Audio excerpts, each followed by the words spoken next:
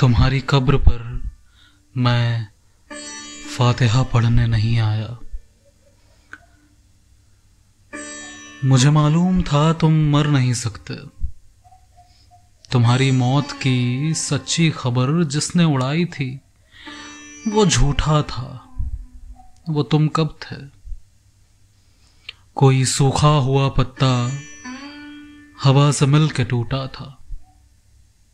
मेरी आँखें तुम्हारे मंजरों में कैद हैं अब तक।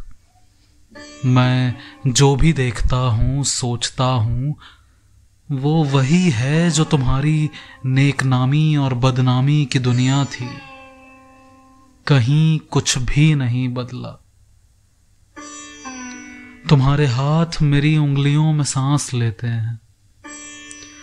मैं लिखने के लिए जब भी कलम कागज़ उठाता हूँ, तुम्हें बैठा हुआ मैं अपनी ही कुर्सी में पाता हूँ।